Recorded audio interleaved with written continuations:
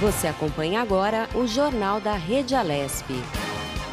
Tudo sobre o Legislativo do Estado de São Paulo.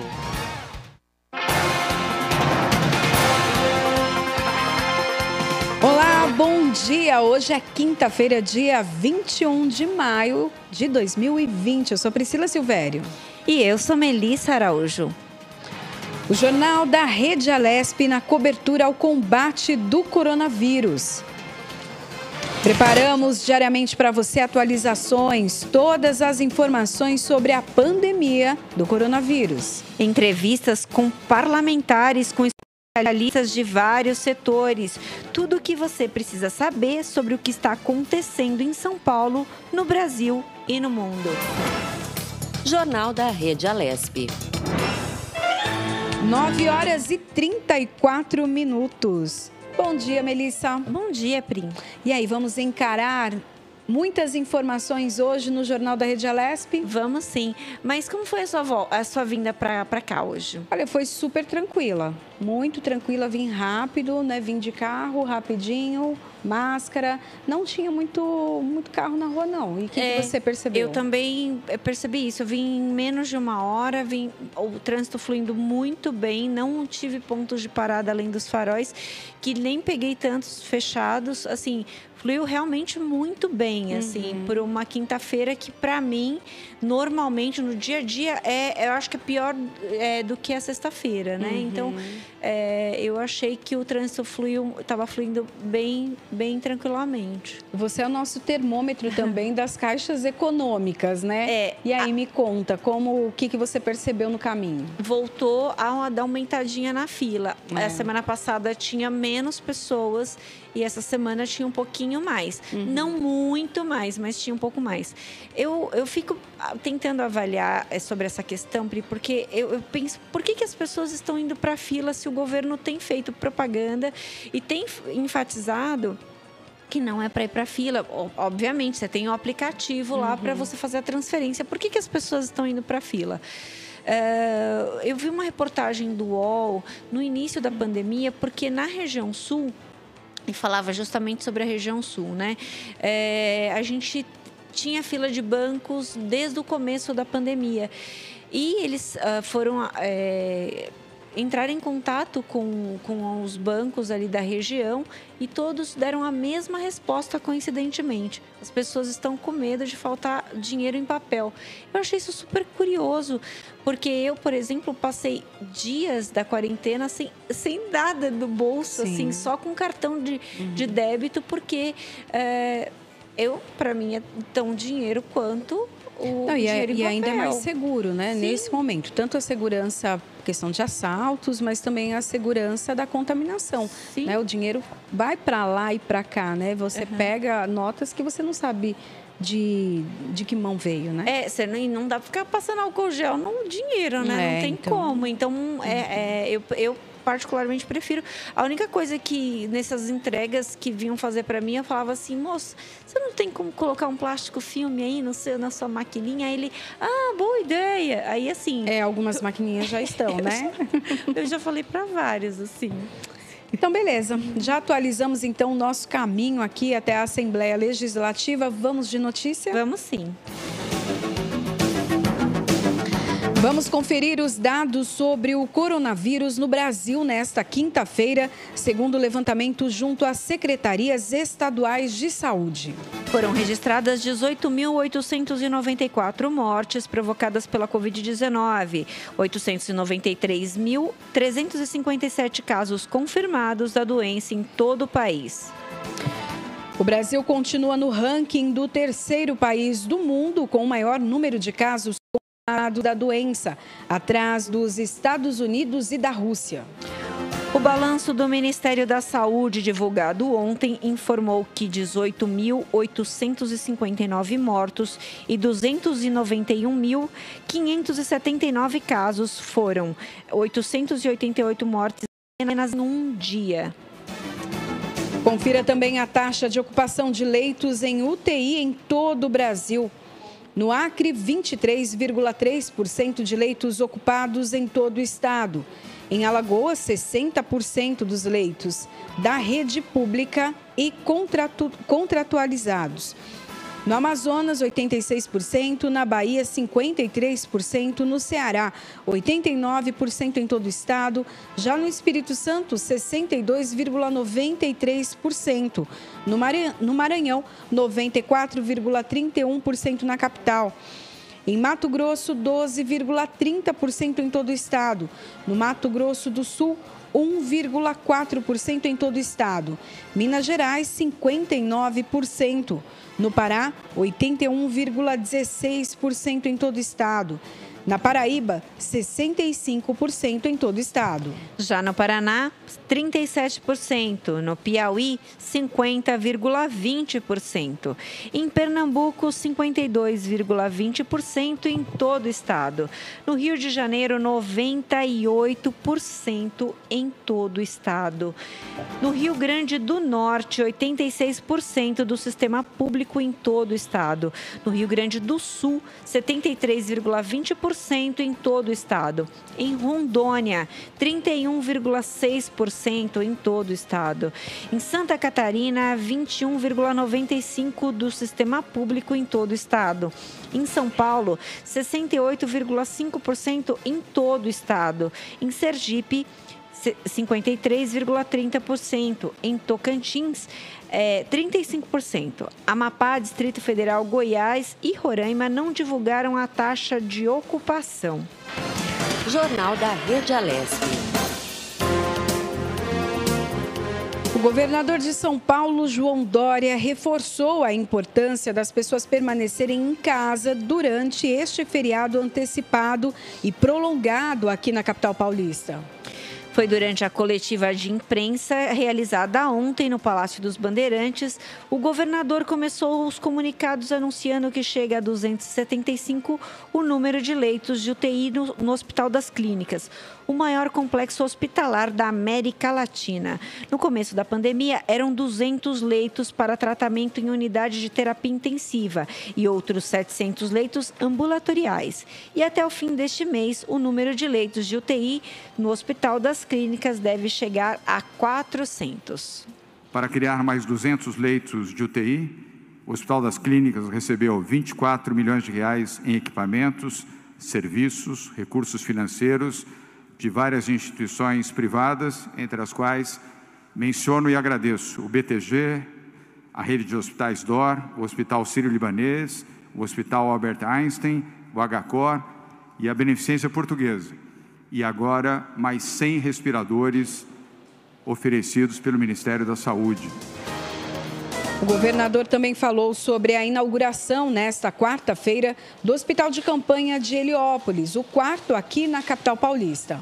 Este novo hospital, implantado na maior favela, na maior comunidade do estado de São Paulo, será inaugurado com 200 leitos, sendo que destes 24 com UTI. Foram contratados 600 profissionais entre as equipes de saúde, limpeza, segurança e gestão para o gerenciamento deste hospital de campanha. É o quarto hospital de campanha na capital, juntamente com a prefeitura, financiado pelo governo do estado, foram abertos e estão operando os hospitais de campanha do Parque Anhembi e do Pacaembu, e também o hospital de campanha do Ibirapuera. E agora o Heliópolis, repito, com mais 200 leitos. João Dória também informou que, somados os quatro hospitais de campanha, Ibirapuera, Pacaembu, Aembi e Heliópolis, chegam a 244 leitos de UTI para tratamento de pacientes infectados pelo coronavírus. O governador ainda anunciou que o estado vai contratar 4.500 leitos na rede privada para atendimento exclusivo da Covid, sendo 1.500 leitos de UTI.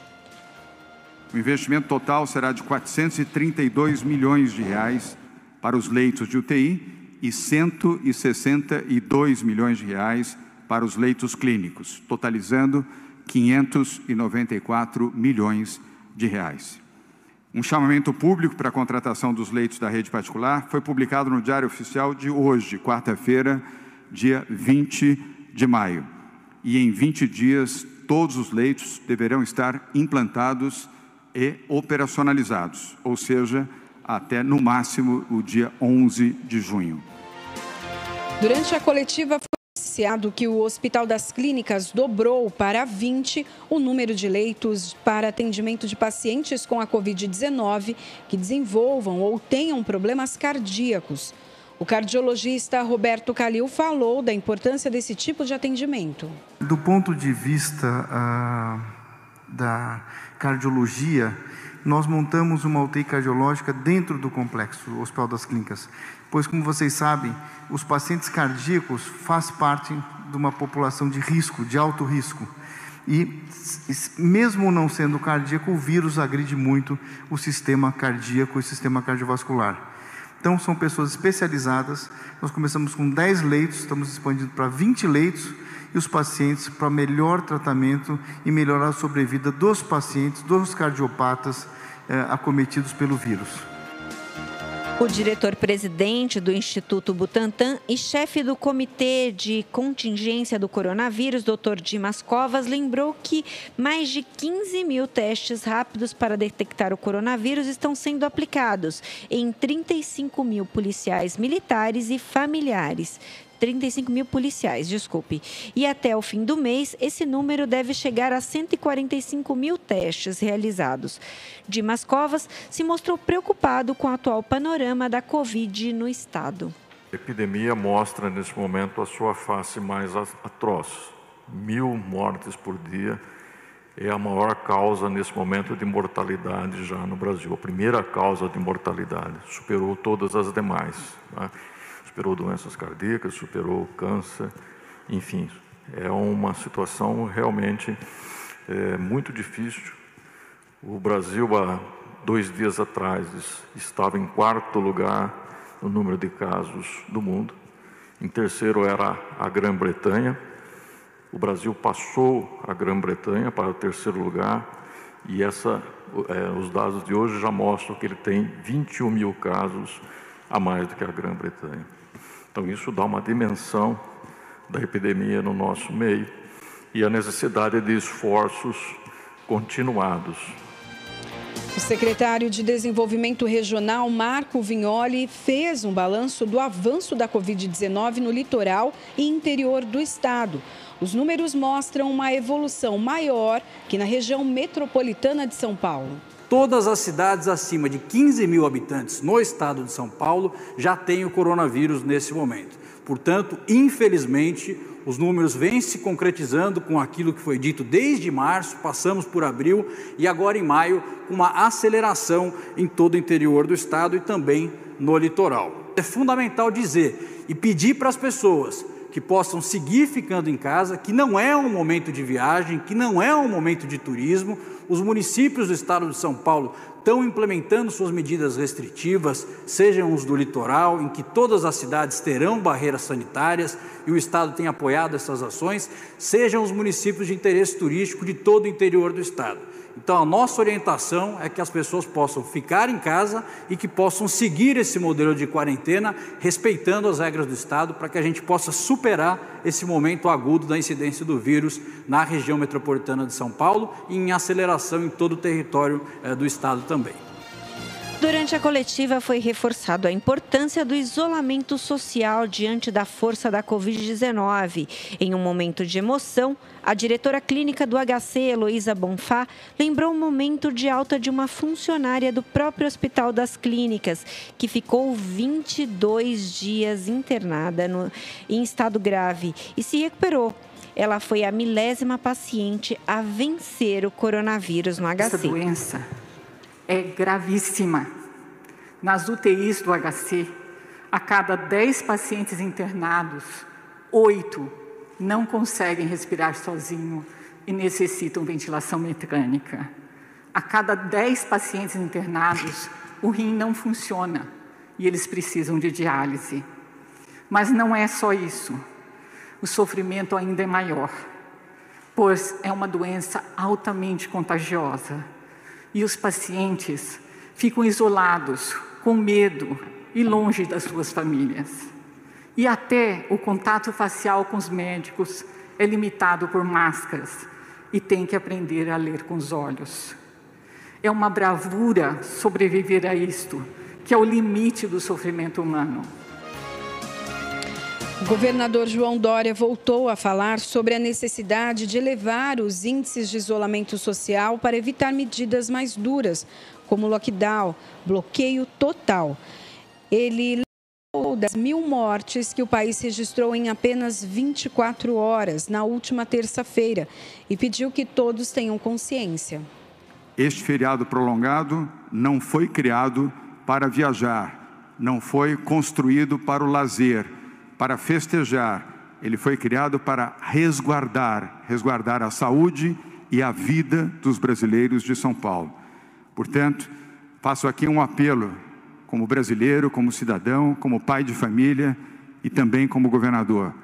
Por favor, fiquem em casa nestes dias. O esforço que o governo do estado de São Paulo faz, ao lado de vários outros municípios, prefeitas e prefeitos, é para preservar vidas, não é para instruir e estimular o lazer. Agora, lamentavelmente, não é hora do lazer, do prazer, da festa. É hora de compreendermos a gravidade das circunstâncias que o Brasil e São Paulo estão enfrentando na pior fase do coronavírus desde a sua chegada ao Brasil. É preciso que tenhamos todos consciência desta gravidade para evitar que mais brasileiros percam as suas vidas? Será que é preciso mais do que essa tragédia para compreendermos a importância do resguardo e do isolamento social? Será que vamos precisar ver pessoas mortas nas ruas e nas calçadas para entendermos que a orientação da medicina para o isolamento social é a única alternativa que existe, seja no Brasil, seja no mundo, para preservar vidas? Pense nisso, você que é contra o isolamento social. Reflita nisso, você que não acredita no isolamento social. E aos que estão fazendo o isolamento corretamente, nos ajudem a convencer as pessoas que ainda não estão realizando esse isolamento, para que elas possam se proteger, para que elas possam continuar vivendo. E você e os seus familiares também se manterem em vida. Não é possível que alguém com o um mínimo de compaixão não se sensibilize diante deste fato, não reflita diante dessa situação, tendo perdido um parente, um amigo, não se ajoelhe para fazer uma oração. O Brasil precisa estar unido para vencer o coronavírus e superar este drama e a tristeza profunda de tantas vidas perdidas. Jornal da Rede Alesp. 9 horas e 51 minutos. É, antes nós escutávamos né, os índices é, que vinham da Itália e nos assustávamos, né? Quantos mortos diariamente. Hoje a gente vê um número tão elevado aqui no Brasil. Realmente é preocupante e é preciso que toda a sociedade se una é, favoravelmente no, na mesma direção, né? Para que possamos então combater essa doença. Exatamente, Pri. E não é só isso. É, a gente percebe chegando cada vez mais perto, né? Exatamente. A gente vê nas nossas redes de amigos e de pessoas próximas aos nossos amigos uhum. uh, infectados, mortos. Sim. Então isso vai nos abalando de alguma forma. E, e assim, uh, é importante que as pessoas tenham consciência. Não é porque aconteceu com outro que não vai acontecer com você. Vai sim. Sim, parece que cada vez está mais perto, né? Sim. Mas vamos tomar todos os cuidados cuidados para evitar isso. Sim, sim. Bom, agora nós vamos então de entrevista. O Jornal da Rede Alesp conversa agora com a deputada Damaris Moura, do PSDB. Ela nos fala sobre o repatriamento de estudantes que estavam no Peru. Bom dia, deputada. Seja bem-vinda à Rede Alesp. Bom dia, querida. Bom dia a todos que nos ouvem agora. É um prazer estar aqui novamente com vocês. Deputada, a senhora comandou a volta de 50 estudantes brasileiros, estudantes de medicina que estavam no Peru é, no meio dessa pandemia da Covid e que há dois meses não conseguiam sair do solo peruano. A senhora pode contar como foi essa organização? É, então, a, o Peru ele estava com as fronteiras né, terrestres e aéreas, estava não estar, né, fronteiras terrestres e aéreas fechadas. As razões são, são óbvias, né? Todos os países com sua autonomia e soberania né, nacional estão tomando cada um as medidas que entende ser mais, serem mais adequadas para aquele momento, especialmente para o sistema de saúde que tem. Né? Eu costumo dizer que cada, cada é, país sabe aonde que o sapato aperta. Né? E, e, e cada governante sabe a, a, o tamanho potencial do seu sistema de saúde. Eu tenho uma relação próxima com a, cons, com a consuleza do Peru aqui em São Paulo e a gente conversa sobre isso. E o que, que acontece? A, a Igreja Adventista tem uma universidade lá no Peru. Né? E este grupo de estudantes é um grupo de estudantes brasileiros que cursam medicina lá nessa universidade. E eles já estavam há dois meses é, totalmente isolados, sem nenhuma possibilidade de voltar ao Brasil. E do lado de cá, ou seja, aqui no Brasil, estavam os pais desses estudantes, não é? Absolutamente desesperados, é? buscando uma forma de viabilizar esse retorno que não é, era possível até aquele momento porque o aeroporto fechado, né? então por, por, por via aérea estava impossível, né? e por via terrestre também, até porque a logística para fazer esse retorno via terrestre, a gente também investigou essa forma, ela era inviável. É, para eu prosseguir relatando? Pode, pode falar, falar. Pode, pode sim, falar. fique à vontade. Fique à vontade. Posso prosseguir? Sim. Então, nós iniciamos esse trabalho primeiro junto às autoridades brasileiras. Uhum. Né? Então, eu fiz uma abordagem com o Ministério das Relações Exteriores. Uhum. Né? Foi o primeiro, é, o primeiro órgão que nós procuramos com vistas a essa repatriação. Sim. Porque a gente tem notícia né, de muitos brasileiros que estão sendo ou foram repatriados é, de, dos mais diversos países do mundo. Uhum. Então, nós buscamos o Itamaraty imediatamente, não é, com uhum. as diversas solicitações dos pais, para tentarmos que o Itamaraty apoiasse essa repatriação mas nós não obtivemos nenhum êxito junto ao Itamaraty. Temos que dizer aqui o que houve, uhum. né? Nenhum êxito. Não obtivemos nenhum apoio para repatriar os estudantes. É, Foi-nos oferecida pelo Itamaraty não é, um apoio é, ou uma logística por terra totalmente inviável, porque quando o Itamaraty ofereceu essa logística por terra, eu imaginei que seria pelo menos um transporte terrestre, não é, para repatriação. Então, nem se tratava disso. É, aliás, eu até hoje não entendi do que, que se tratava, porque o custo e o transporte ficaria por conta dos estudantes. Então, eu não, não sei nem identificar exatamente, porque não ficou claro que tipo de apoio logístico por terra o Itamaraty nos ofereceria, de modo que não houve solução por parte do Itamaraty. Uhum. É, foi o que transpareceu, né?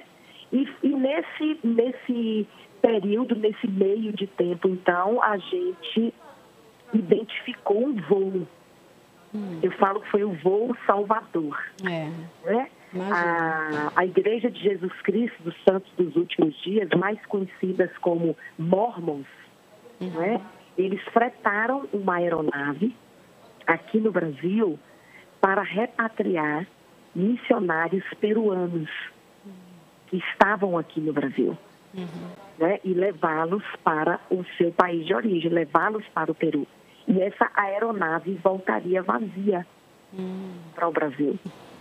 É, parece até um conto de fadas, né? Mas foi isso mesmo que aconteceu. E como eu tenho uma relação muito próxima com esse grupo religioso, formada a partir é, de ações conjuntas muito antigas em defesa da liberdade religiosa, né, é bandeira principal do meu mandato, o combate à intolerância religiosa, a defesa do direito à liberdade religiosa de todas as pessoas, uhum. não é? E por isso eu tenho uma interlocução intensa com os mais diversos segmentos religiosos e os mormons é, são um destes grupos religiosos, né? Então essa amizade que foi construída aí é, nesta base né, de defesa da, do direito, defesa do direito de todos, eu os contactei imediatamente, informei que tomei conhecimento que havia essa aeronave e pela amizade que temos e o respeito mútuo, embora eu pertença a um outro grupo religioso, na verdade eu sou adventista, eu pertenço a um grupo religioso dos estudantes, não é? é, começamos os acertos. É, eles tinham disponibilizado esses assentos todos de retorno, eles disponibilizaram para a Embaixada do Brasil em Lima, né, para que a Embaixada, então, se utilizasse desses assentos né, de retorno. E a, essa era a grande preocupação, né, porque como eles já tinham disponibilizado os assentos para a Embaixada, é, eu não sabia se havia ainda algum assento não comprometido com algum brasileiro que queria retornar. Uhum. Mas eles foram muito solidários e generosos. E prontamente eles bloquearam os 50 assentos que nós necessitávamos. Uhum. E só, e só então é, disponibilizaram para a embaixada o remanescente, né, o excedente. Mas separaram os 50 assentos para esses estudantes. Por quê? Porque era uma situação dificílima, alguns já estavam é, com alguma necessidade lá no Peru, dois meses isolados uhum. não é? sem aulas e sem poder voltar para casa. E foi uma operação bem complexa, porque precisávamos da autorização do governo peruano para essa aeronave uhum. é, pousar no Peru. Pousar no Peru. E de, depois de diversos contatos com autoridades brasileiras e peruanas, mas eu quero destacar que o apoio que nós tivemos para essa aeronave pousar no Peru, para toda essa logística, foi das autoridades peruanas. Foi com elas que nós conseguimos viabilizar essa repatriação. Não é? Então, nós contamos, eu vou, eu vou destacar aqui duas autoridades peruanas que nós tivemos contato, uhum. que foi a ministra Fabíola Munhoz, que é ministra do Meio Ambiente do Peru. É, nós temos amigos em comum, a ministra e eu temos amigo em comum lá no Peru e também o primeiro vice-presidente do Congresso Nacional Peruano. Uhum. E também temos um amigo em comum. Essas duas autoridades foram aquelas que nós conseguimos apoio não é, para buscar esta autorização para este voo. Houve uma primeira autorização que foi cancelada, vivemos a expectativa aí difícil do cancelamento desse voo que já estava autorizado, programado, plano de voo pronto, foi cancelado, aí tivemos mais alguns dias de luta para nova autorização é, e ela veio e novamente o plano de voo foi reprogramado. Uhum. E para nossa imensa alegria e emoção, eu sou mãe também, e eu acompanhei a aflição daqueles pais aqui no Brasil, não é? Para nossa imensa alegria, para nossa imensa emoção, ah, uma parte da minha equipe esteve no aeroporto de Viracopos, em Campinas, para receber esses estudantes, juntamente com os pais que ali estavam, tomadas todas as medidas de segurança, de afastamento, de máscara, de álcool gel. Foi muito bem feita o, o receptivo né, desses estudantes. Eles chegaram na terça-feira da semana passada, por volta das 22 horas. O voo pousou na base militar aérea do Peru. Não é? Nós contamos com a companhia Azul, é, que foi muito, muito transparente, foi muito. É, fez uma operação muito inteligente, né? levou os mecânicos dentro do próprio voo para fazerem a manutenção da aeronave em solo peruano, né? para que houvesse um retorno imediato, de modo que foi muito organizada a operação. Ah, os alunos se deslocaram da universidade em ônibus né, fretados pela Universidade Adventista. É, quero destacar também a importante participação né, da Igreja Adventista, que assinou, assumiu toda a responsabilidade jurídica uhum. não é, e, e documentou isto pela vinda desses estudantes, não é? Também é, fez todas, bancou, pagou, né, assumiu todas as apólices de seguros para esses estudantes retornarem, uhum. não é? E também enfrentou esses ônibus que fizeram o transporte de estudantes da universidade que fica afastada da zona urbana até a embaixada. Foi uma operação muito bem feita. A embaixada já tinha um receptivo uhum. é, e já tinha o transporte que levaria os estudantes até a base militar e foram levados, é, todos afastados no ônibus, nada, nenhum próximo do outro, foram vários ônibus, uhum. não é? E lá eles finalmente embarcaram para o Brasil, chegaram em segurança, uhum. estão todos bem de saúde, uhum. não é? A gente está acompanhando.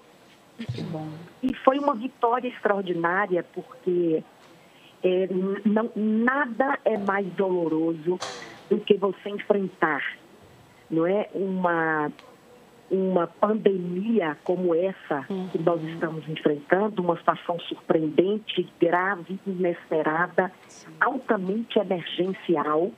não é? E ainda enfrentar longe do seu país, longe da sua família, são muito jovens, não é? E foram valorosos e com essa conjugação de esforços aí que a gente conseguiu coordenar todos esses atores participativos que eu mencionei aqui uhum. e todas as participações foram importantíssimas, não é, para que finalmente essa operação acontecesse e esses estudantes retornassem uhum. ao seu país.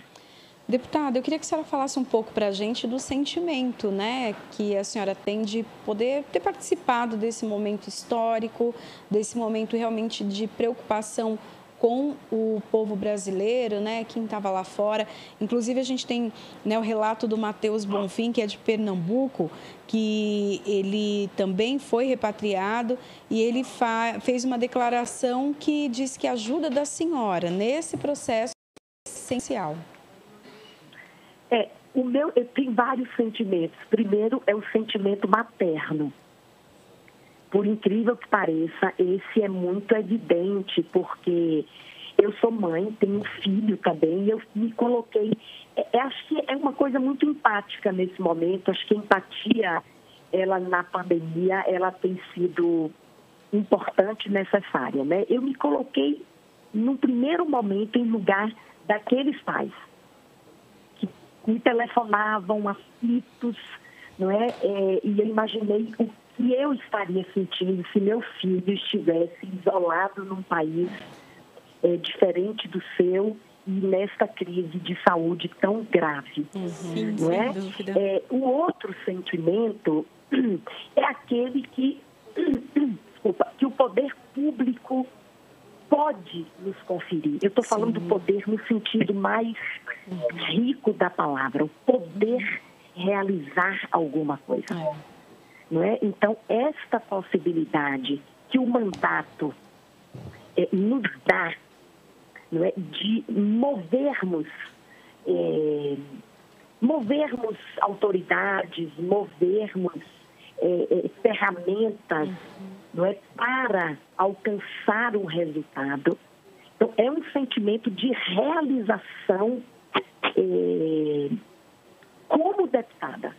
Sim, né? verdade. A partir do mandato, eu tive a possibilidade de influenciar de forma muito significativa o resultado. Né? Então, é um sentimento de realização é, que o mandato me trouxe, muito profundo.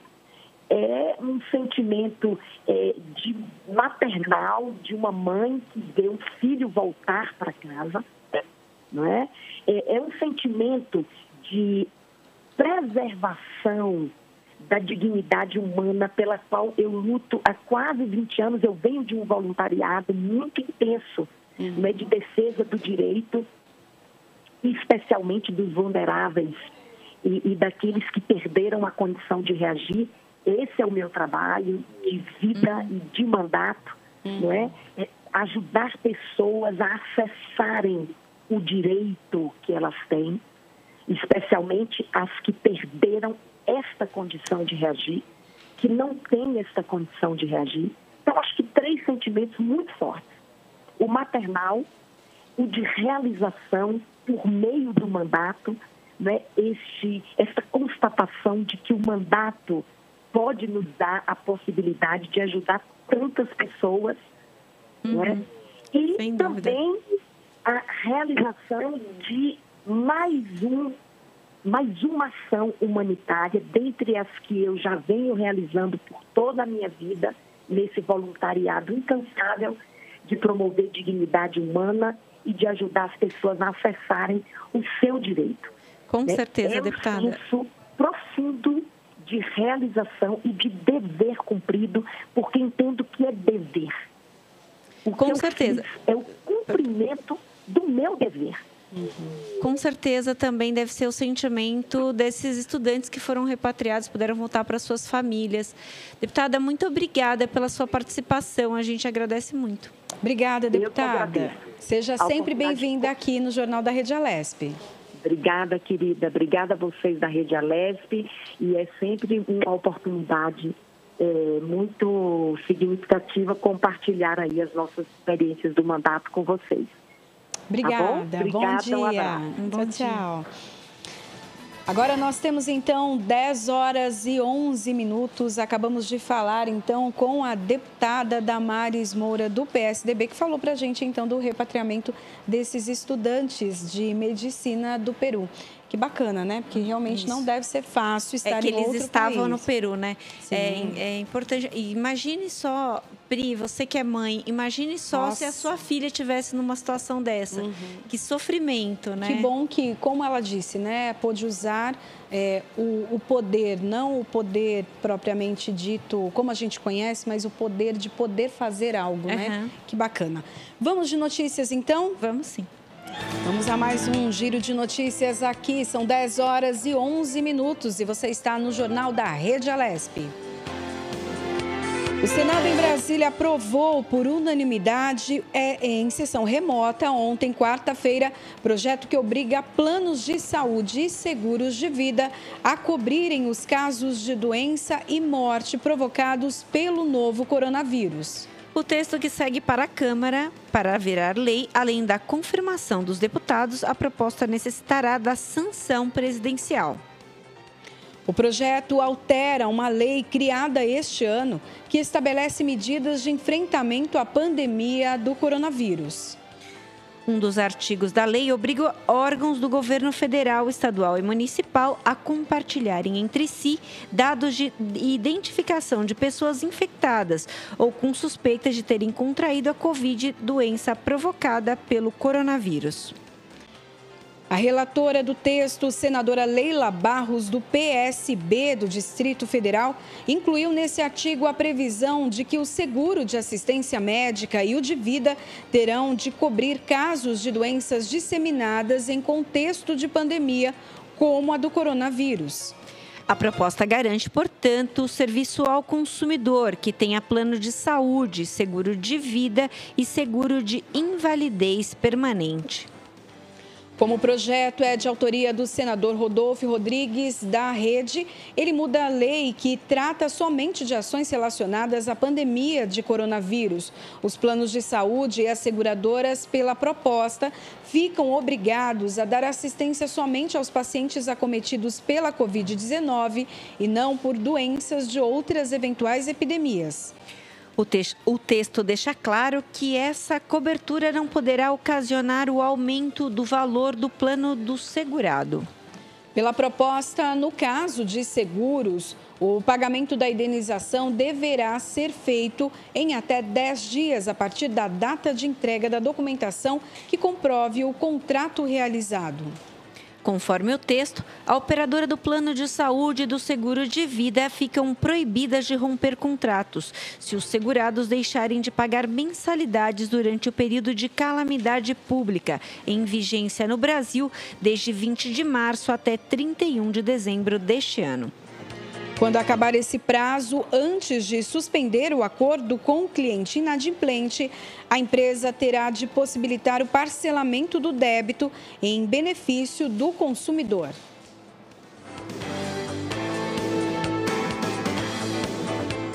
É... Bom, a relatora esclarece que atualmente os planos de seguros já permitem que o consumidor escolha se quer incluir ou não o risco de doença pandemia na cobertura. Mas diante da necessidade da situação, atua da situação atual de transmissão facilitada e comunitária no país, é importante que mesmo os planos sem essa cláusula deem tratamento ao paciente com coronavírus. O projeto não especifica qual tipo de plano e de seguro será incluído na regra, então o texto abrange qualquer contrato firmado nesse sentido. Jornal da Rede Alesp. 10 horas e 15 minutos. Agora nós vamos de entrevista. O Jornal da Rede Alesp conversa agora com o dentista Sérgio Barbosa. Ele nos fala sobre a luz ultravioleta usada na desinfecção de ambientes e também para o uso de material médico. Doutor Sérgio, seja bem-vindo ao Jornal da Rede Alesp. Bom dia, obrigado pelo receber. É, tudo que a gente puder ajudar aí a informar vocês, a ajudar a população, a gente está sempre disponível. Doutor, é, para começar, é importante que o pessoal de casa entenda o que, que é exatamente essa luz ultravioleta. É uma tecnologia já usada há muitos anos para desinfecção de ambientes, tá? Então, essa luz, ela, ela começou a ser usada é, para descontaminação de água há quase 100 anos atrás. Então, ela, ela foi usada já, já é usada muito em hospital, ela é usada em aviões, em ônibus, e consiste em você usar um tipo de luz ultravioleta, tá? Que é uma luz que quase não chega para a gente aqui pelo sol, eh, ela para a maioria na camada de ozônio, e ela entra em contato com os ambientes, ela desinfecta mesmo, ela chega uhum. a esterilizar os ambientes dependendo da a quantidade de luz. Então, hoje em dia, com, com o surto do corona, a gente consegue usar essa luz nos ambientes de uma maneira segura, eu explico para vocês, mas para descontaminar tanto as superfícies quanto o ar Tá? Então ela está uhum. sendo utilizada em hospitais, na China ela já está sendo utilizada em ônibus, inclusive, é, e ela é utilizada para desinfectar alguns materiais que é difícil da gente desinfectar quimicamente. Uhum. Então, por exemplo, dinheiro. Hoje a gente pega dinheiro e está super contaminado, né? Então essa luz consegue nos bancos desinfectar o dinheiro para ele poder estar tá livre aí de coronavírus e outros outros tipos de bactérias e vírus.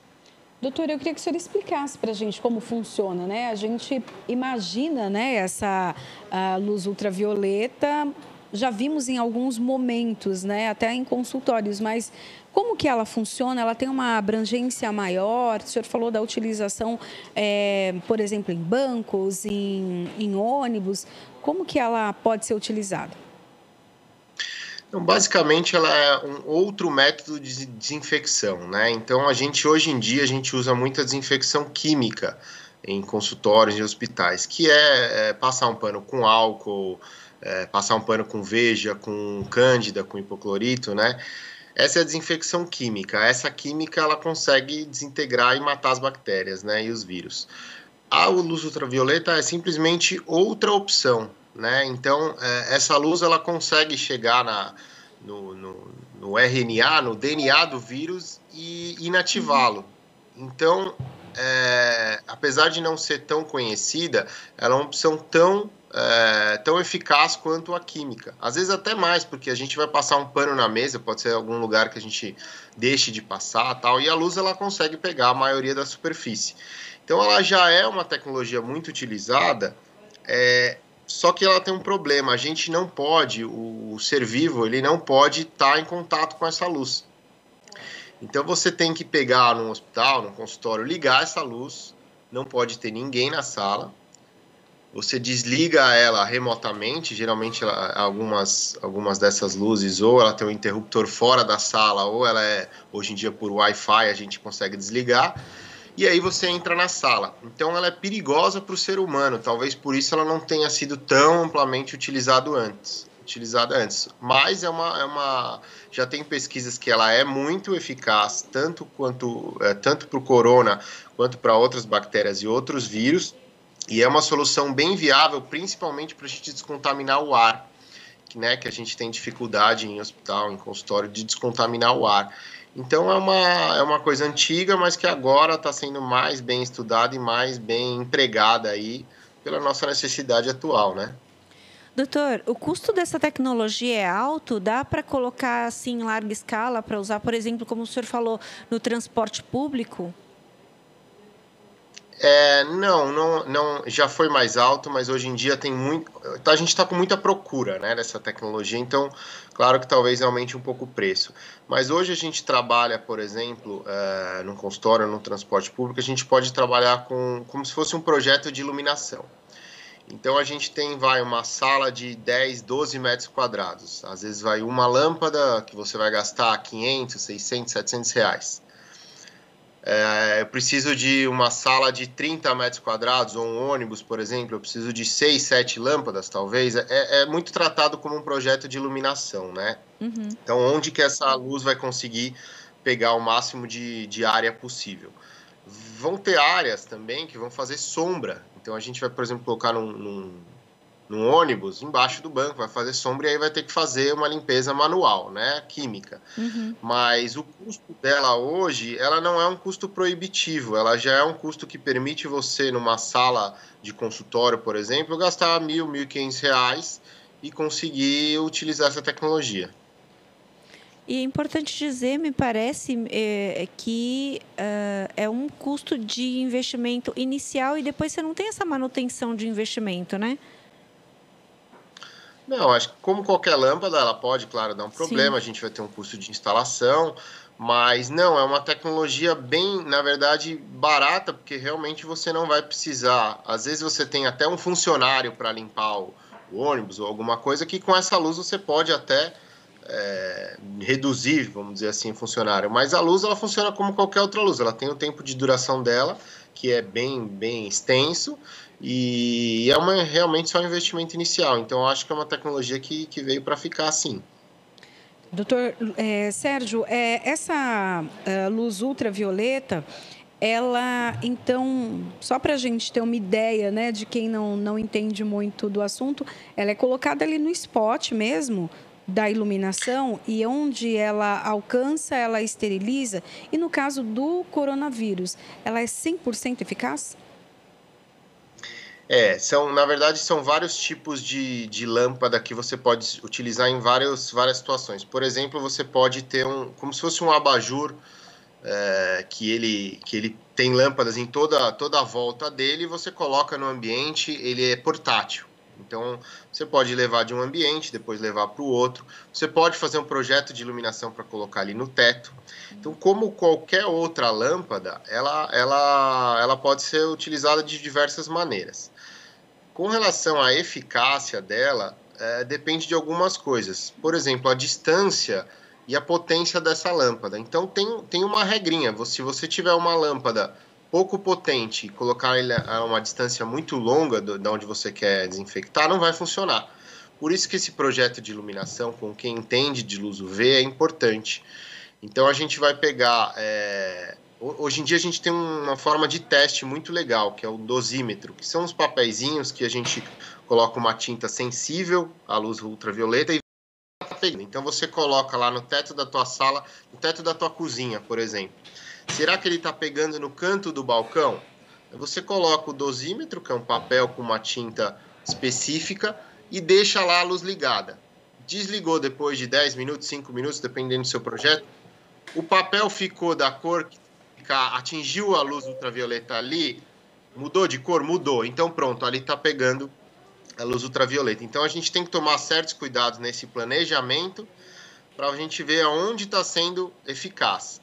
Agora, depois que realmente você entendeu onde pega a luz, o que, que ela está limpando, aí não precisa mais ficar com manutenção, não. Doutor, o senhor falou sobre o uso empresarial, né? No ônibus, no consultório e tal.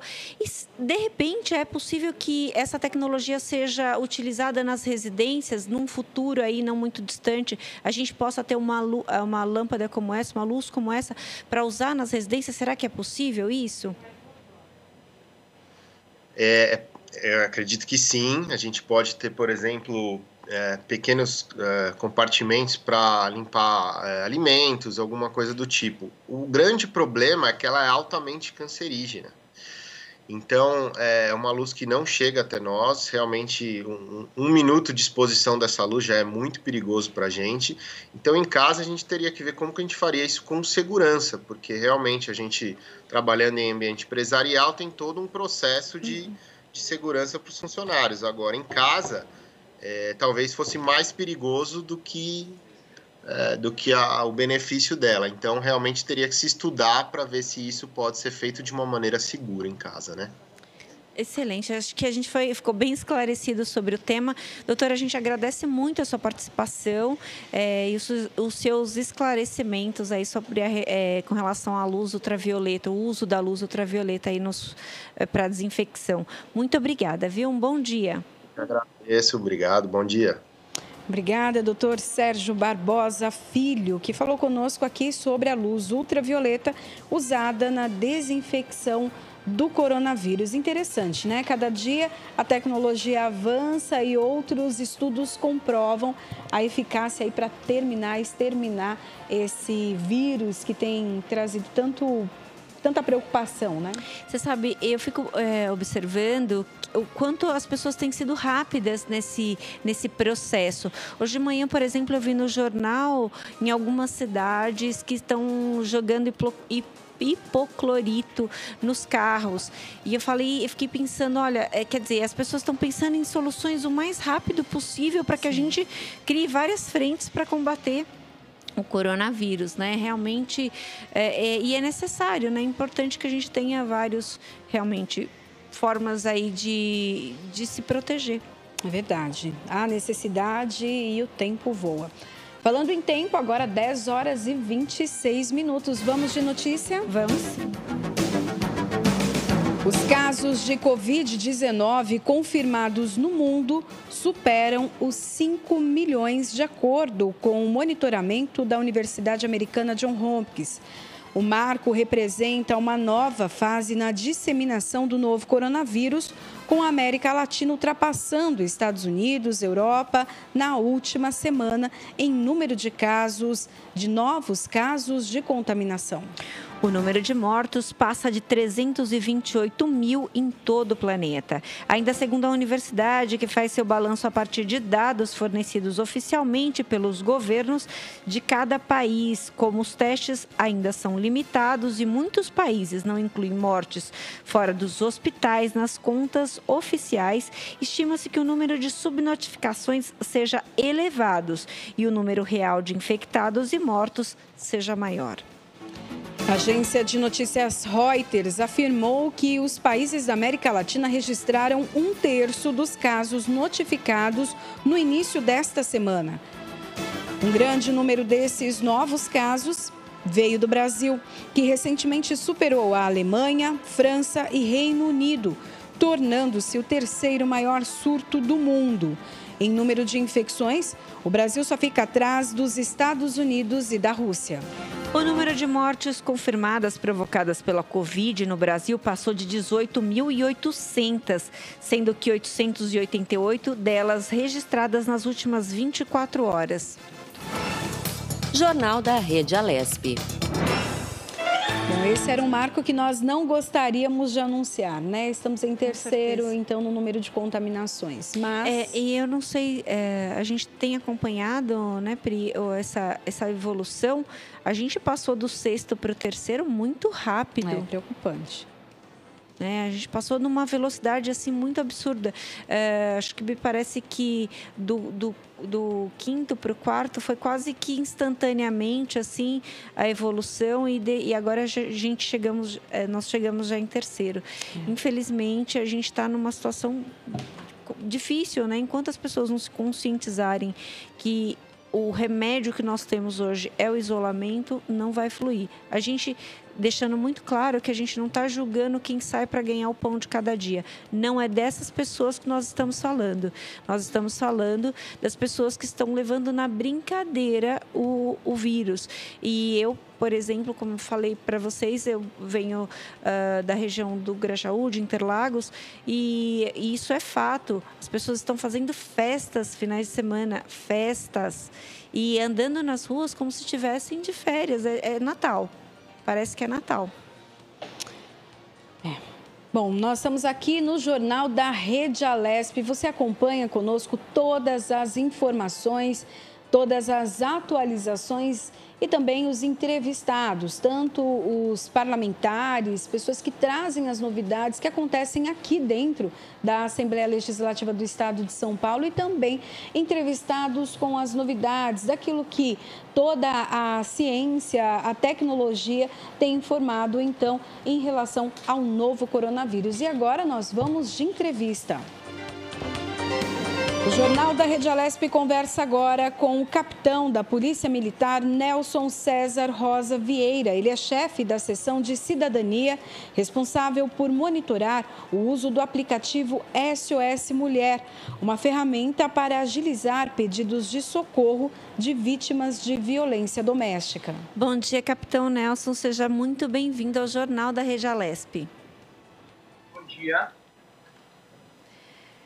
Capitão, é, como que funciona o aplicativo SOS Mulher?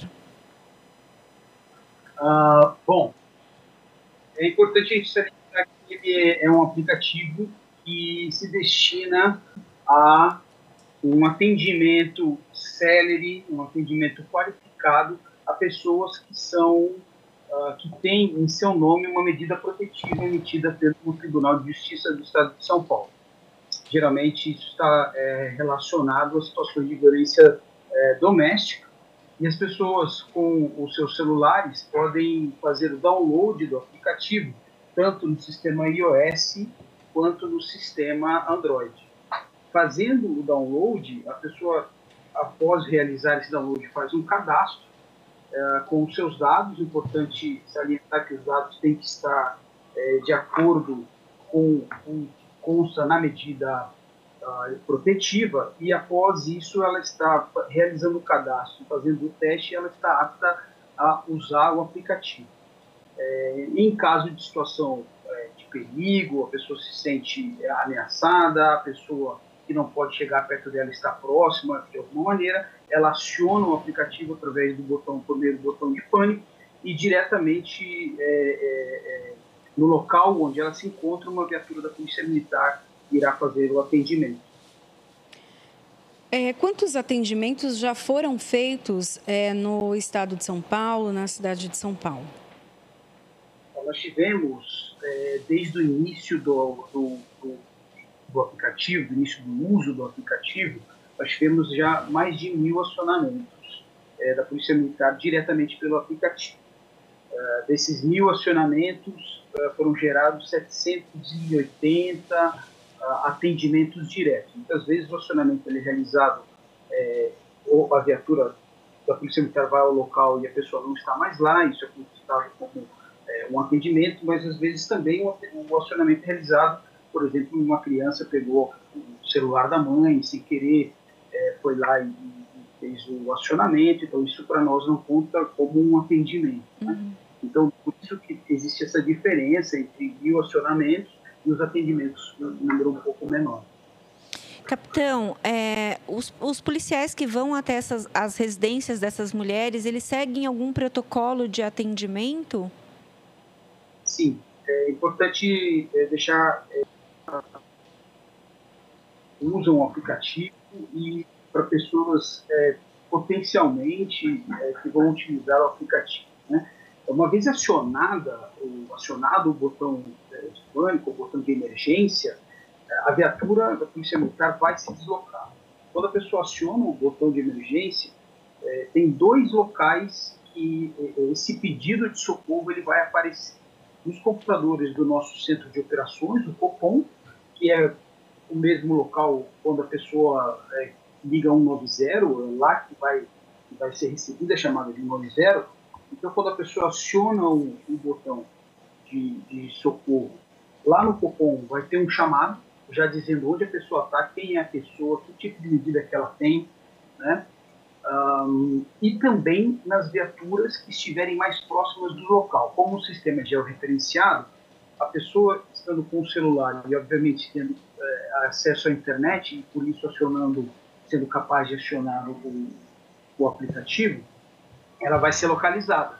E as viaturas, com os seus computadores de bordo, vão receber na sua, no, no seu local onde estiverem é, esse acionamento e elas vão diretamente para o local. O protocolo é receber o chamado, não espere é, o, o, contato, por exemplo, do nosso centro de operações é, para confirmar. A viatura se desloca ao local. Se nesse é, meio tempo tiver, por exemplo, um chamado da pessoa cancelando porque é, ah, foi engano, foi é, um problema, mesmo assim a viatura vai ao local.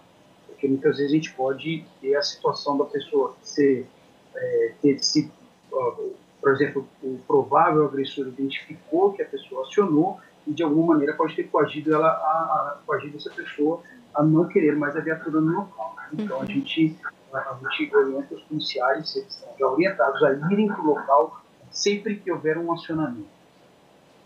É, Capitão Nelson, Capitão PM Nelson, eu queria que o senhor falasse um pouco para a gente, nesse caso, então, específico que o senhor disse, às vezes a pessoa aciona, então, é, o, o, dispositivo, porém, ela é coagida, né? É, como o, os policiais percebem que há essa coação? Como que essa vítima deve, quais os sinais que ela deve né, passar, então, para os oficiais para mostrar que realmente ela precisa de ajuda, mesmo que ela esteja falando que não?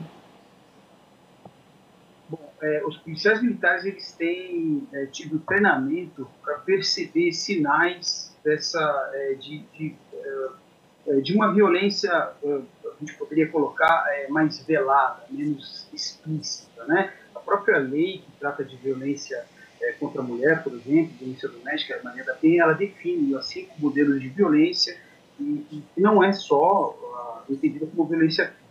Os policiais militares percebendo é, que existe, é, isso vai muito, é claro, né, da experiência do policial militar e do treinamento, mas também de uma, de uma capacidade de comunicação da pessoa de mostrar tais sinais. A gente orienta os policiais militares a perceberem se há nervosismo, conversarem com pessoas próximas, muitas vezes diretamente com a pessoa que acionou, ela não vai ter é, condições de falar, é, mas muitas vezes tem outras pessoas na família, tem pessoas, por exemplo, vizinhos, que podem dar é, sinais, informações é, importantes para que o policial militar, no, no local do atendimento, é, possa ter esse discernimento para conduzir a, a, a, situação de uma maneira ou de outra. É, a orientação que a gente tem e também existe é, uma questão legal envolvida é que o descumprimento da medida protetiva ele gera é, de pronto, né, imediatamente o encaminhamento é, ao, ao, à delegacia, né, ao distrito policial, é, para, na maioria dos casos, prisão em. Então, se há o descumprimento, por exemplo, a quebra de uma a, a violação de uma distância mínima é, que o potencial agressor teria que respeitar com relação é, à pessoa protegida, essa, essa violação da, da, da distância significa violação da medida, isso já gera é, consequências legais. Mas esses sinais são importantes, né? o policial estar atento a como a pessoa está se comportando, as situações também do potencial agressor e o contexto familiar e de vizinhança, isso ajuda muito, né? a gente pede muito para as pessoas terem essa atenção com relação, é, é, principalmente em casos que a gente já sabe que existe uma, a violência já acontecendo. É, Capitão, a denúncia é importante para evitar o pior, ou seja, de repente a, ela está sofrendo uh, uma agressão verbal, por exemplo, não é, não é física ainda. Essa denúncia é importante para que isso não se agrave? Muito importante. É, em muitos casos, isso existem é, indicações, estudos, não é só no Brasil.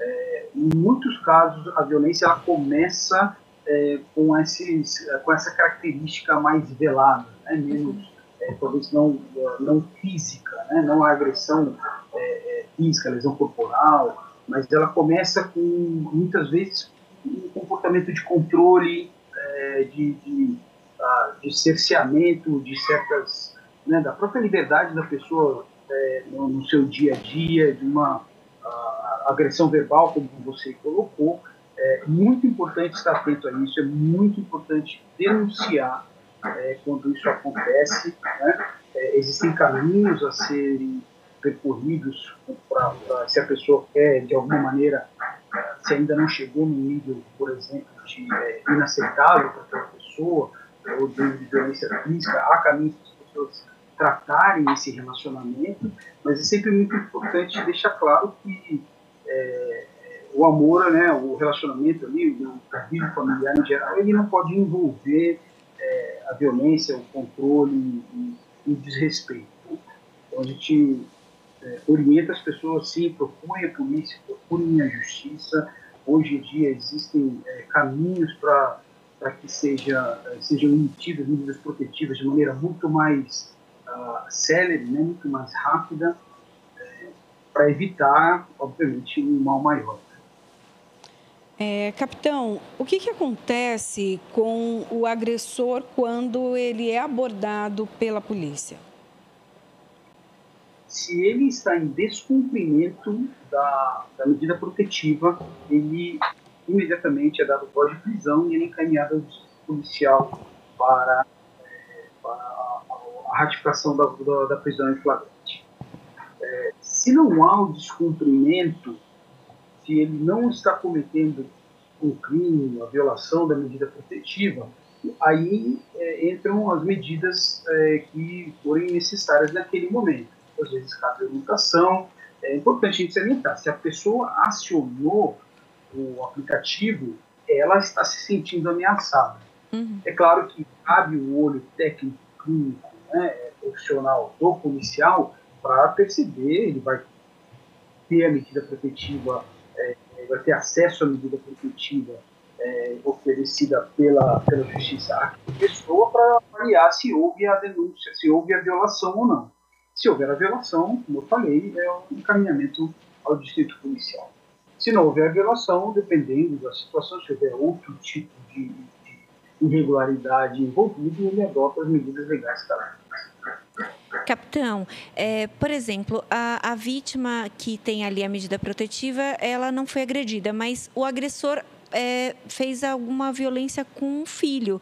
Quer dizer, é uma forma ali de torturar ali essa vítima. Ela pode também acionar o botão SOS Mulher. E aí eu queria fazer uma outra pergunta junto, que é aquela história do briga, da, da briga entre marido e mulher não se mete a colher. Essa omissão também é um crime? vamos lá, para a primeira pergunta, é, ela pode sim acionar, ah, de novo, se ela acionar e não houve uma violação da medida, mas pode estar acontecendo um outro crime, por exemplo, é, vitimando uma criança, uma outra, uma outra pessoa do convívio familiar, é, é, obviamente as medidas legais vão ser adotadas. Também, se for o caso de encaminhamento é, para o circuito policial, é, a prisão, se for é, uma situação de flagrância, né, de, de, flagrância em delito. Um, então, sim, ela pode acionar, mesmo que não seja diretamente para ela. Né? A ideia é, claro, é, é, é uma primeira, primeira proteção para quem é a, a, a, a inicial vítima, mas se há outras situações de vulnerabilidade dentro daquele convívio familiar, não tem por que a Polícia Militar não acorrer, não socorrer, não atender e não prestar o apoio é, necessário. Obviamente, isso é, será feito, então não tem problema nenhum em acionar. É, a sua segunda pergunta é muito interessante. Esses dias é, eu vi uma campanha sobre isso, né? É, e a gente precisa ter isso bem claro, né? Às vezes a gente é, é, tá, está acostumado com algumas com alguns jargões, com até assim costumes, né? Como você falou, algumas lendas urbanas até de briga de marido e mulher. Na verdade, mete-se sim a colher. Né? É, muito importante isso porque é, a gente fala muito das redes de proteção, né, dos networks de proteção, de, de, de como é, é, de como as coisas chegam ao conhecimento também das autoridades, né, da polícia, dos serviços públicos, e é muito importante que a comunidade esteja atenta.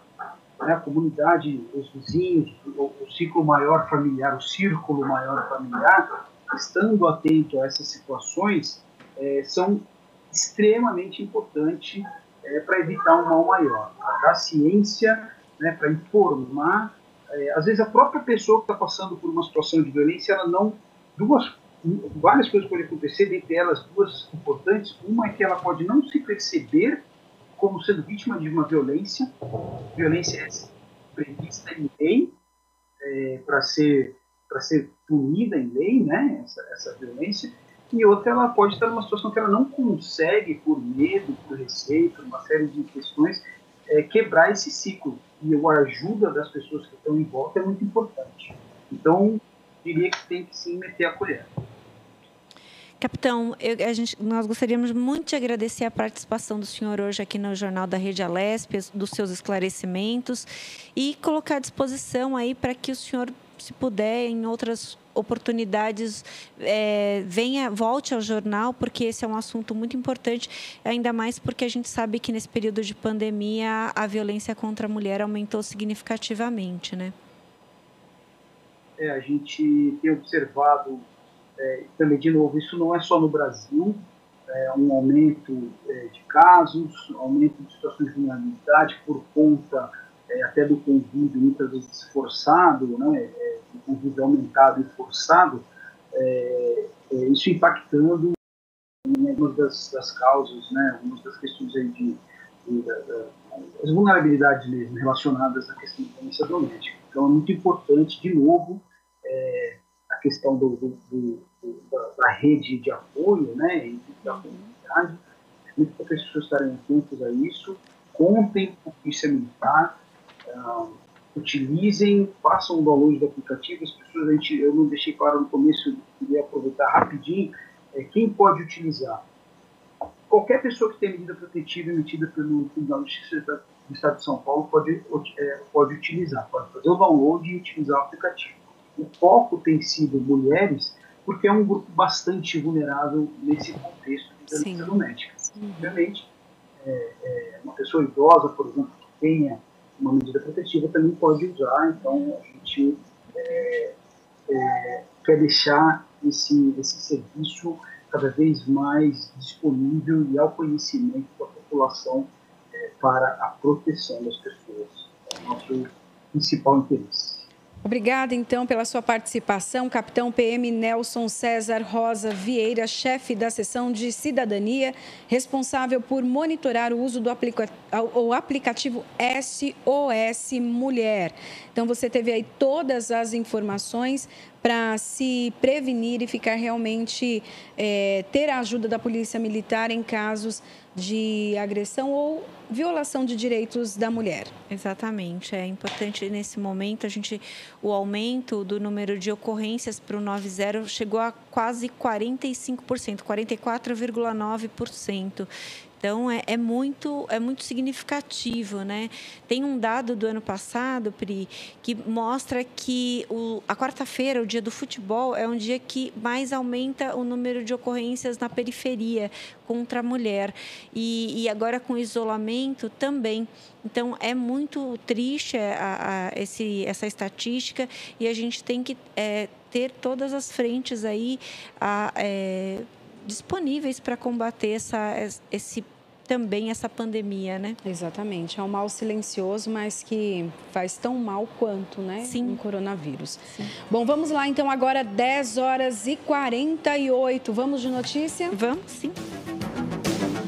Feriadão em São Paulo, que começou ontem e pode ser estendido até a próxima segunda-feira, deixa em alerta prefeitos de cidades do sul de Minas Gerais. Eles temem que, apesar da recomendação para que as pessoas fiquem em casa para evitar a expansão da Covid, a região seja escolhida como destino de muitos paulistanos.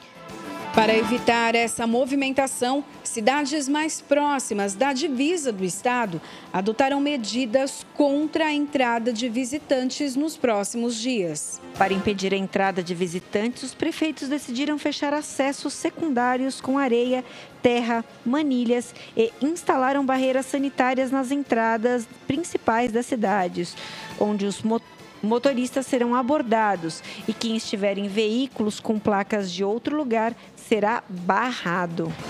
Jornal da Rede Alesp. Você está no Jornal da Rede Alesp. Informação em todo o tempo para você atualizada e agora a gente tem então nosso nós temos mais entrevistas, né? Afinal de contas a gente fica então sempre atualizado. Olha, os nossos repórteres, na verdade, né, tem ali atualizações e a gente vai falar agora com um deles, é isso? É isso. Bom dia, Jeremias. Bom dia, Mel. Priscila aí no Jornal da Rede Teste. Vamos falar um pouquinho das ações do plenário? Vamos. Ok, a Mel que gosta de acompanhar, então vamos ficar em dia junto com os nossos telespectadores. O projeto que antecipa o feriado de 9 de julho, né, para segunda-feira próxima, emendando aí todos esses feriados aqui na capital paulista, é, teve mais um passo. Nesta quarta-feira, ontem, foi aprovado o relatório do relator deputado Carlos, Pinhatari, do PSDB, líder do governo na LESP. Então, é, ele agora entra na fase de discussão hoje, a partir das duas e meia da tarde. Então, só lembrando, Mel e Priscila, nós tivemos aí ontem, a, na capital paulista, antecipado o feriado de Corpus Christi, hoje é, Consciência Negra, amanhã, sexta-feira, é, deverá ser declarado. É, como é que se diz aí? Vocês Ponto facultativo. Exatamente é, deve ser declarado ponto facultativo. E aí, na segunda-feira, esse ainda tramita aqui na Assembleia Legislativa, porque é um feriado estadual. Então, tá aí. É, feriados é, que devem ser emendados na segunda, então, dia 25, deve ser então aprovado aqui na Assembleia hoje enviado ao governador para a sanção, a, a sanção do governador, para que segunda-feira, então, seja adiantado o feriado de 9 de julho. É, e é importante, né, Jere, que de repente, é, que sendo aprovado, é, são para os 645 municípios, né? Exatamente, porque daí é, é um feriado estadual, né? Uhum. Então, todo mundo em casa na segunda-feira, né? Essa é a, a proposta do governo, que já até é, já sinalizou que se não houver a redução é, desse índice, pode haver o lockdown, né, que aí é fechamento total. Por isso a importância de todos nós é, nos preservarmos nesse feriado e é, só para guerreiras como vocês, aí pessoal da saúde que saem e tem que prestar esse serviço para a população, mas quem não precisar, ficar em casa. E outro projeto que está tramitando na casa é o 350 de 2020, 350 de 2020 Esse projeto é feito em conjunto, né, assinado por 65 dos 94 deputados da Casa. Esse projeto é, estabelece providências emergenciais de combate ao coronavírus. Ele teve o regime de urgência aprovado, então isso significa que ele não vai ficar cinco dias em pauta aguardando emenda, mas a, emendas, mas apenas três dias que praticamente já se findaram. Né? Hoje, uhum. quinta-feira, a previsão é que esse projeto deve ser distribuído para as comissões partir das sete da noite. Isso é um projeto bem amplo, eu vou aqui dentro do meu tempo, se eu ultrapassar vocês me falam, mas para falar um pouquinho das ações que ele traz. Primeiro, é que é um, praticamente um consenso entre os deputados, é por transparência, para que uhum. o governo e municípios informem nos sites oficiais é, de estados e prefeituras, do estado e das prefeituras, detalhe dos usos de, dos recursos, onde é que eles estão sendo aplicados, de que forma, a maior transparência possível, já que a gente vive é, o estado de calamidade, então a gente sabe que todas as, é, as compras, todas as, as ações feitas pelo governo e pelos municípios, elas estão mais, essas regras estão mais é, afrouxadas, então daí é, o projeto da Assembleia Legislativa nesse sentido, para que se dê a maior transparência possível é, nos gastos públicos do Estado de São Paulo e dos municípios. A segunda é a informação diária pelo governo de casos confirmados e óbito de Covid-19. Então, uma informação diária e atualizada em todos, em todos os municípios e estados. Uhum. Regulamento da telemedicina na rede pública estadual. Isso já tem uma regula limitação federal, mas que seja regulamentado também no âmbito estadual. Um auxílio emergencial de no mínimo 300 reais para vítimas de violência doméstica. Vocês estavam falando aí agora há pouco sobre a violência doméstica. Uma das propostas, claro que tudo isso está sendo discutido, ainda vai passar pelas comissões, né? Mas uma das propostas é essa, um auxílio emergencial para as mulheres que forem vítimas de violência doméstica. Um horário exclusivo para consumidores com mais de 60 anos em supermercados, padarias, açougues e congêneres. Né? Isso já tem sido adotado em locais, não só no Brasil, mas em outros locais, para que os nossos idosos possam ir com segurança num horário específico, seja na padaria, no mercado, enfim. Não inclusão de nome de pessoas físicas. Pois não, Mel, você ia falar alguma coisa? Sim, é, eu, é, a importância, é, esse projeto, né, Jeremias, é um projeto tão abrangente e para que as pessoas em casa entendam, ele é histórico também, né?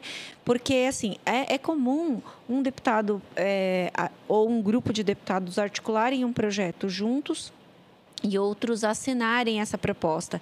Esse não, esse condensou propostas de, de parlamentares diferentes, né? Isso, isso é uma, é, uma iniciativa histórica aqui para casa e eu acho que para os parlamentos de todo o Brasil, né? Porque é, e é e dada a urgência aí da situação que a gente está vivendo, porque normalmente os, todos esses projetos precisariam ter uma tramitação e essa tramitação poderia demorar mais, né? Então, quer dizer, é, e aí, pelo que você já, já falou para a gente até agora, já tá, é, as propostas estão abrangendo, a proposta, né, tem itens que abrangem muitos, é, muitos paulistanos aí, muitas, a necessidade de muitos paulistanos. É verdade. Proposta de, de, como você bem colocou, de vários partidos, né, de várias nuances. Então, assim, a gente tem proposta dos partidos de esquerda, de direita, enfim, do centro. É, mas é, houve realmente essa união porque é uma diferenciação que está impactando a sociedade toda e na política não é diferente. Então, você tem muita razão. o prazo para que esses projetos tramitem aqui na casa, eles foram reduzidos. É, geralmente 10, 15 dias, foram reduzidos para 3, 5 dias. Esse, no caso de urgência, fica só três dias em pauta, né? Então, assim, tudo sendo acelerado, os parlamentares, é, claro, respeitando a opinião de cada um, mas eles é, conseguiram formalizar um projeto com 65 deputados. Vai ter muita discussão, sim, a gente vai acompanhar, e você que nos uhum. assiste pela Rede Alesp vai saber de cada detalhe, mas realmente é muito importante, muito abrangente e a gente vê que toca diversos setores. Eu não sei se ainda tem o tempo, tem mais alguma coisinha Tem, pode falar, pode falar. Só prosseguindo, é, não inclusão de nome de pessoas físicas ou jurídicas no cadastro informativo dos créditos não quitados de órgãos e entidades estaduais, ou seja, mais um, uma, uma ação no sentido de colaborar com os empresários no momento que a gente precisa de ter emprego. Então, é mais uma ação da Assembleia e dos deputados nesse sentido. Incentivos fiscais do Estado para empresas que se voltaram à produção de equipamentos de proteção individual, os EPIs, respiradores e ventiladores pulmonares sem demitir funcionários. Então, é, você vê que está tudo sendo é, amarrado de uma forma que essa empresa que vá é, produzir esse equipamento, desde que ela não demita, então, assim, são ações que recebem um, incentivo do Estado, mas não demitindo e, e é, produzindo é, equipamentos importantes agora para a área da saúde, né? Enfim. Oitavo item, para auxiliar empreendimentos prejudicados pela pandemia, é, o projeto possibilita a suspensão temporária da cobrança de dívidas tributárias. Por fim, bom, é isso. Esse é o projeto é, 350 de 2020, que estabelece uma série de regramentos para o Estado de São Paulo, que vai afetar toda a população, e está tramitando aqui na casa a partir das sete da noite. Hoje deve ser encaminhado às comissões. Para finalizar rapidinho, lembrando que a gente também tá, está tramitando na Assembleia Legislativa o projeto de lei da LDO, que é a Lei de Jeremias.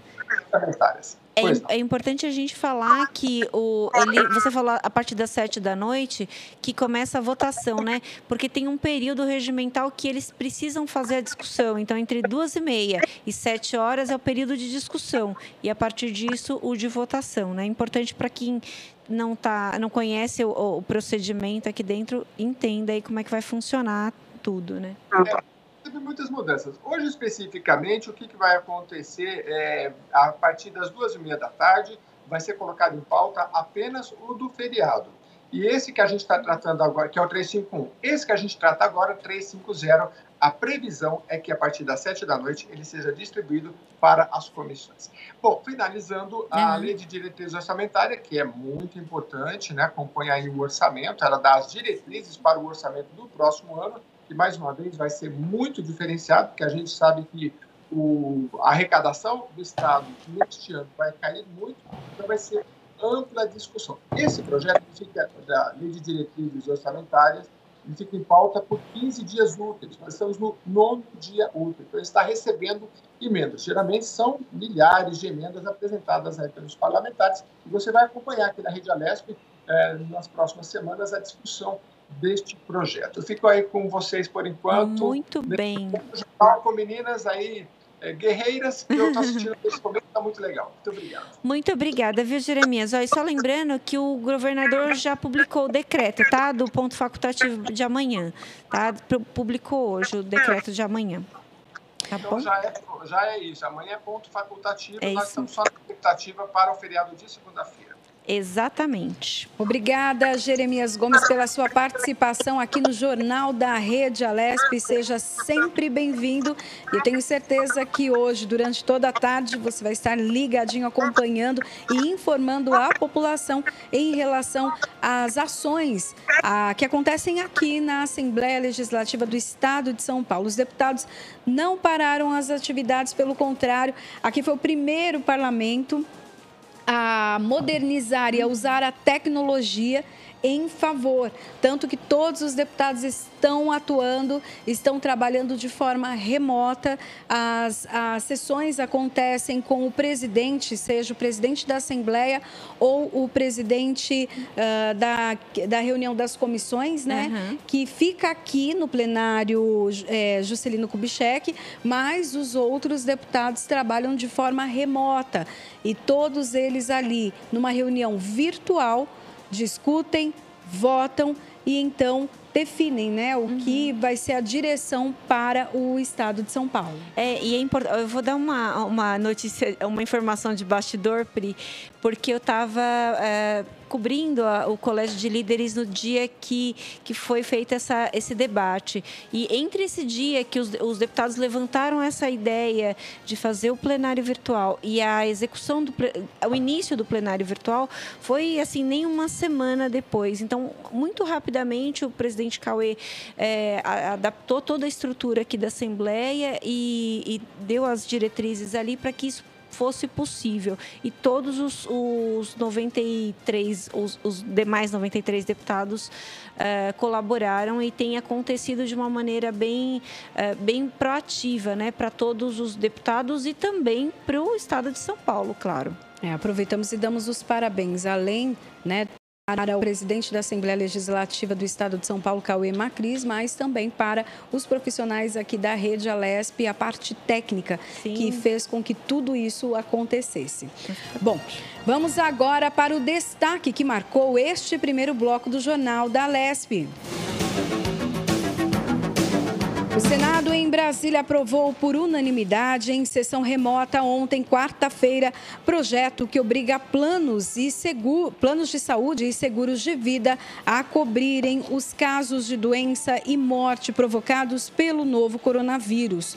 O texto segue para a Câmara para virar lei, além da confirmação dos deputados. A proposta necessita da sanção presidencial. Agora nós temos em São Paulo 11 horas e 2 minutos e o Jornal da Rede Alesp informa tudo o que acontece na luta e prevenção contra o contágio do coronavírus. A gente faz o um intervalo agora. Nós vamos dar uma pequena paradinha, você fique aí ligadinho que a gente volta já.